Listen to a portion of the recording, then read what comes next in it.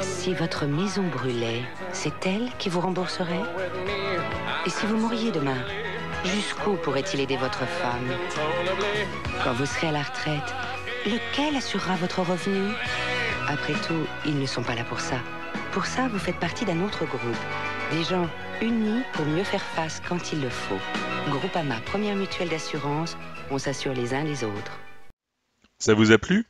Pour ne louper aucune de nos prochaines vidéos, abonnez-vous à notre chaîne YouTube Archipub.